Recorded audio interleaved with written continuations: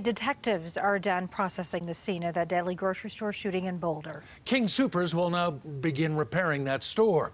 Good evening, I'm Jim Benemann. And I'm Karen Lee. Now, at the same time, the union says Kroger, the company that owns King Soopers, is not meeting the needs of its employees. The memorial still stands outside that store. We reported last week that the company met with workers about resources, emergency compensation, and options for returning to work. Well, now the union says it is concerned that some of those benefits could end too early. Connor McHugh joins us live from Boulder tonight to talk more on this. And Connor, how are employees feeling about the proposals that are being floated around? Well, Karen, the employees we spoke with aren't as critical as the union, but they are confused and a bit concerned moving forward with how all of this is going to go. They tell us they have questions about when their paid leave will come to an end, when they will be asked to return to work, whether it be at this store or at another one, as well as how mental health resources will be handled moving forward. I managed to run out of the store within the first 30 seconds, just hearing gunshots the whole time. As a gunman opened fire at the Table Mesa King Soopers, Paul Johnson narrowly escaped. I keep thinking, oh, I'm, I'm getting better, and then it, it all comes back. I can hear the gunshots again. For now, Johnson and other employees remain on paid leave, but in staff meetings last week, the company told them compensation could end April 24th. Employees can transfer to another store while the building is renovated. I don't know when I'm going to be able to just be in a public, enclosed space again. I don't think I can feel um, comfortable or safe returning to work for, for a while. Connor Hall is also an employee and the shop steward for the local 7 Workers Union.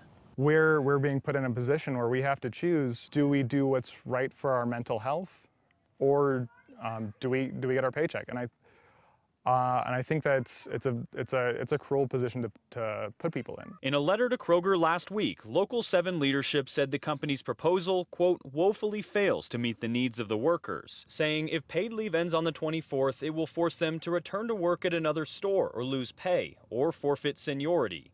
In a response to CBS 4, a King Sooper spokesperson cites a community resource center open six days a week, saying, We will also continue to support our associates with paid emergency leave in addition to any employment benefits they were already receiving. Together with our associates, customers, and community, we'll grieve and heal. Even though I'm not in the union, I support them. Moving forward, Johnson and Hall hope for more transparency and continued resources. It's going to take a lot of time for us to to get where we need to be.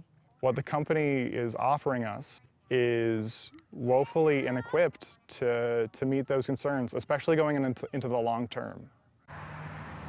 Now, within the last 20 minutes, we did just hear from King Soopers with some more answers about how this is going to go moving forward. A spokesperson confirms that paid leave will continue until at least the 24th. After that, the company will make decisions about how to move on after that.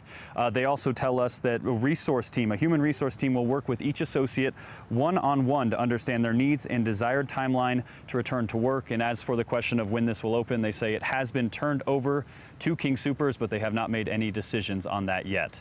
Live tonight in Boulder, Connor McHugh covering Colorado First.